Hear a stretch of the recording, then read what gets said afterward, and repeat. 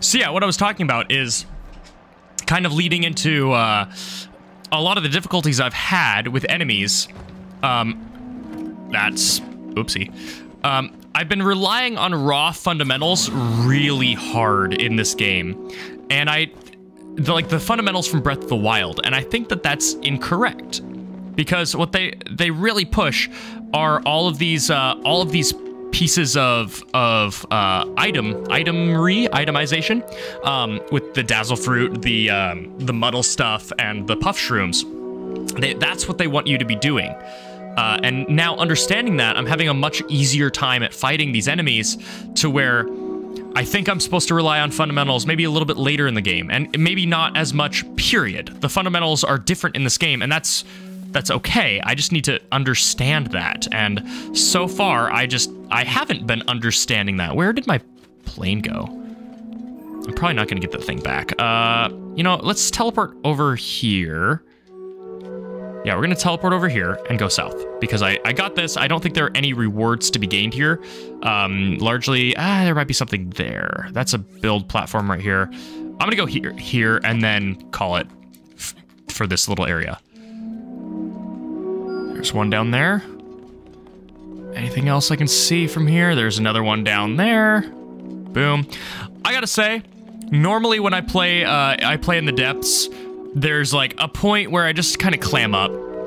I just kind of clam up. I'm like, yeah, we're going through it. It's happening. But this, I'm actually solidly enjoying this session. Uh, it's not getting old. Like I'm climbing up a little bit just because, you know, we're, we are getting to the point where I've explored a lot. And so I'm having to, I'm having to warp around, but I'm, I'm enjoying myself. I'm talking, I'm, I'm playing the game. I'm, I feel like for the first time, I'm understanding what I need to be doing. Is that water? What? What is that?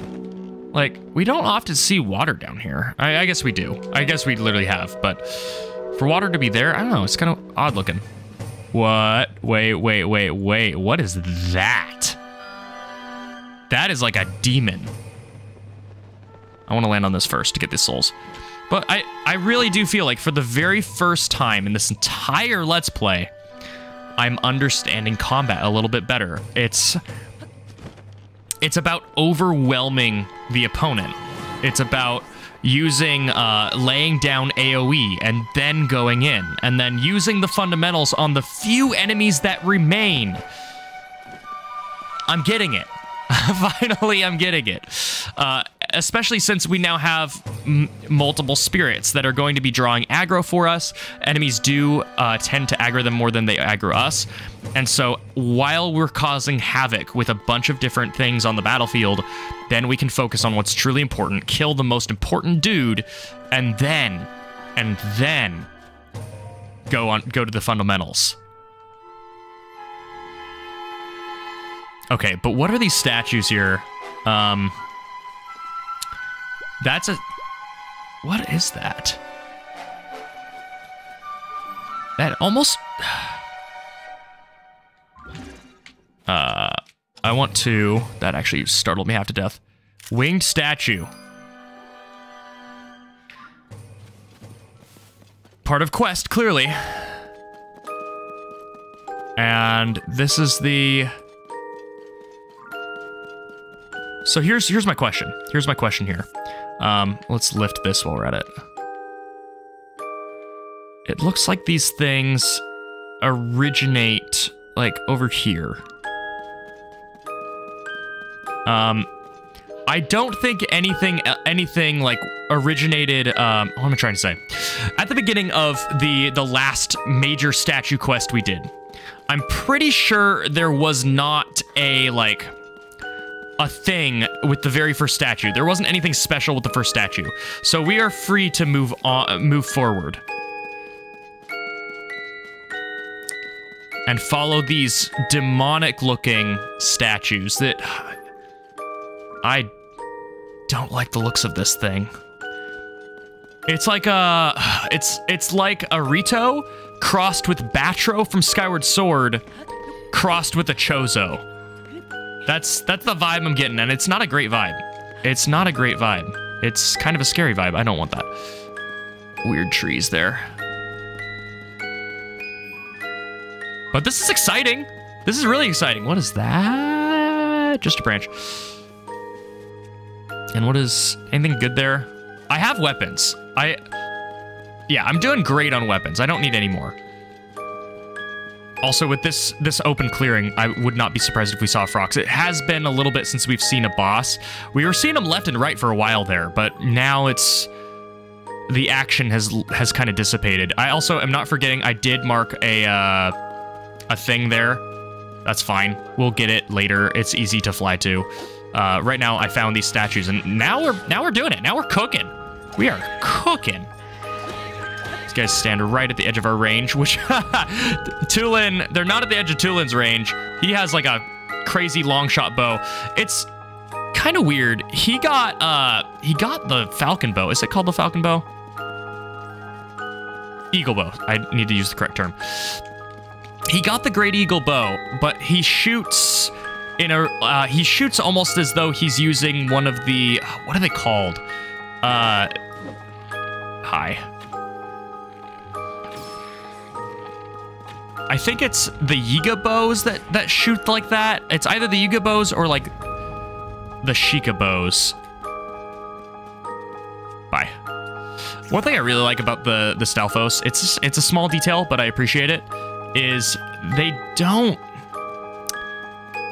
they they're agnostic to what body they get as long as it's the right species, and that's kind of cool. Uh, what am I seeing over here? I see light. It'd be kind of cool if we just happened to come across the end of of the trail. Although I like the anticipation of it. It's a it's a really cool like connecting tissue. You guys are just normal, right? Yeah, you're just normal. I for what is that? Gigabase.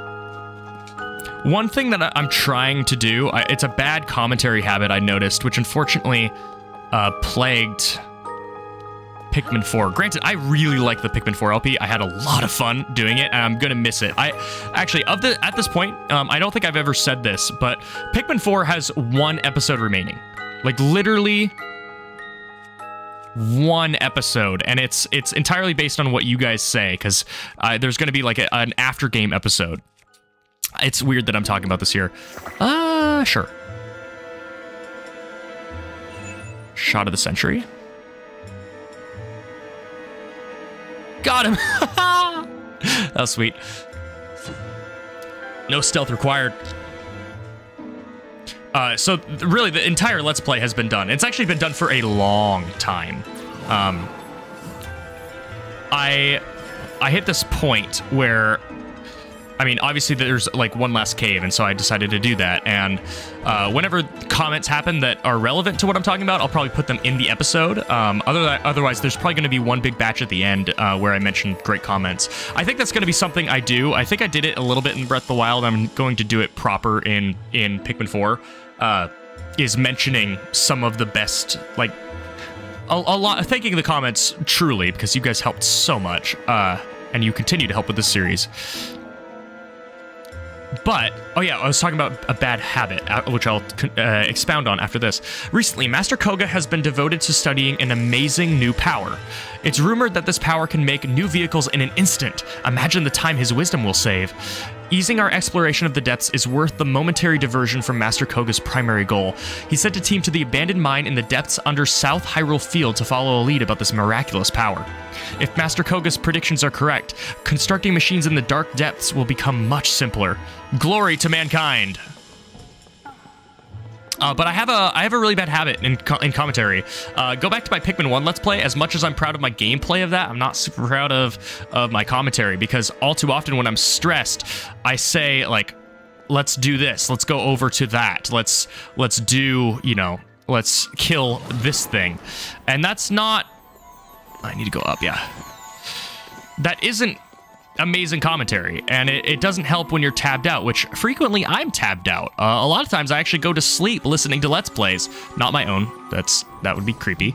Uh, but I, I go to sleep listening to Let's Plays or re-watching Let's Plays even. Okay, fine. fine, I give up. yeah, I give up. And so I'm trying to get better about that, which hope, for all I know, I was really bad about it in this session. Uh, which, if it, if I was, I'm sorry. But I'm I'm trying to get better at, at commentary again. It's it's a definitely a, a very, it's a difficult skill. Like the amount of skill that I have um, when I'm not commentating versus commentating is insane. It's night and day. I've I've beat uh, the entire or all of the B sides in Celeste. I beat the Farewell DLC. I've done. I've I hold the second place. Well, second place years ago. I don't know about anymore. Uh, the second place world record for what am I doing? The second place world record for the uh, first Girahim battle. Um, I am good at games, but if you have never commentated a game before, do so. Try it. Even just even just uh, alone. Like you don't need to you don't need to release it, although I would encourage you to because it's really fun. Uh, try it because it's chances are you're going to realize how much how difficult it actually is and how much of your skill just goes right out the window as soon as you are are talking and having to think about what you're saying and be entertaining, make jokes, uh, my sense of humor, I, I I tend to take whatever situation I'm given and make it comedically um, hyperbolic. I I will read one random thing like uh, Colin slight intimation that he, something is a little bit suspicious with him, and I and suddenly he is, and suddenly he's a cannibal like that's just how my my humor is. I think it's really funny to to take a little little joke and just run with it as much as you can. I don't know why I'm not skipping this cutscene. What does this look like? We have statues. They're leading us somewhere. Where could they go? There's like a mine on the other side of us, which I should probably check out. Uh, it's on the other side. It's over there. Let's let's go see what that is. Again, now that we know that they, now that I think every single one of the mines, like the little mines so far, has been massively rewarding. Uh, from having unique pieces of gear, which at this point, one thing I'm worried about is I might not 100% the game by upgrading all the gear. I did that in Breath of the Wild. It was really difficult, really grindy. Uh, but, ugh. Do I do that in this game? That's, that's an undertaking and a half.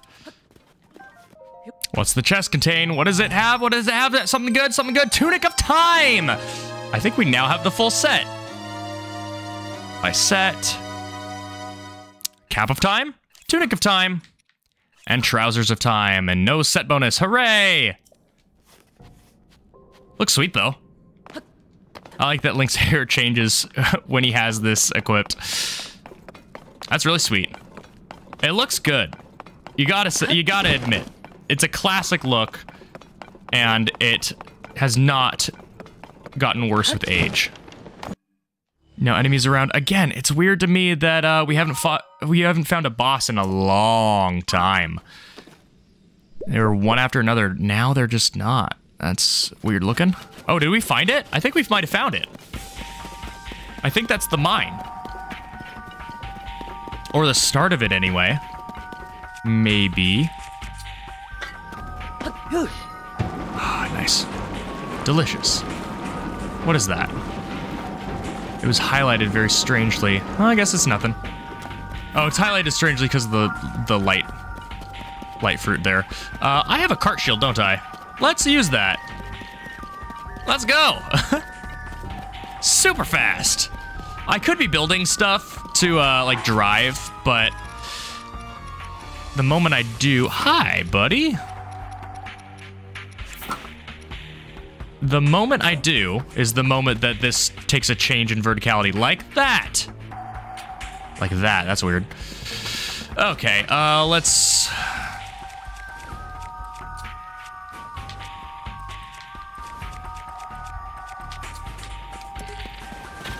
If I had to levy a complaint at this game, it, it's that. and this is a weird complaint. I can't favorite my armor. I feel like I'm constantly switching armor in this game. It's kind of frustrating. And you know what? While we're on the topic, let's levy, levy another complaint. Oh, that was fun. One more. I missed. Oh, there we go. Good job, Link. Um, bows. You probably don't notice it a lot because I cut it, I literally cut this out. But every time I, I pull out a bow and go to uh, fuse something to it, I cut out all the time it takes me to select it. Because if I have a bread and butter thing, ooh, this is fun. If I have a bread and butter item that I fuse to my bows, then I'm going to go through that item quickly. So that means that I'm constantly, constantly having to go in the menu to find the next best thing. I could probably be using this more, to be fair. The next best thing to use. And that's, it's annoying. It's really annoying. I wish that I could just fuse stuff to bows and be done with it. What on earth? Where am I going? This is, this is new. This is actually like a cave instead of like, I don't know, the nether. Like dark overworld. A stone talus. Which is definitely worth fighting. Fine, I'll, I'll fight this. It's a weird stone talus. Let's see if I can land the shot. Not quite. Got it. That's enough. Wow. Okay, uh, stone taluses are super weak. Uh, let's grab this. It's gonna get that bonus damage. I still have my, my armor equipped. You know how I was complaining about bosses, or I guess just talking about bosses? Well, we found them. We found all the bosses. All the classic bosses. And we're killing them before they are able to stand. Sweet. Lots of good stuff. Be careful how my uh, how much I mash, because Toon likes to throw away everything I love. Uh, yeah. Rare Stone Talus Heart. We're gonna fire. Actually, you know what? I'm running out of giant uh, Bright Bloom Seeds, but this is worth it. This is a major, major quest. Okay. It's leading me to a boss, but that's not that's not the goal of this. I feel like the other one did that too. Okay, well, more bosses. I'm not complaining. I am not complaining about more bosses. I will complain about constantly pulling up my menu. That will probably be less of a problem once, uh... Yeah, it'll probably be less of a... You know what I'm gonna do? I'm gonna equip this first and foremost. I'm gonna equip this. And I think it just makes the most sense to kill this thing from above. Ready, set, go! Once. Twice. Three times. Four times. That should be enough. No, it's not enough. Not even close. Okay. Uh, a few more times then. Let's switch over to this.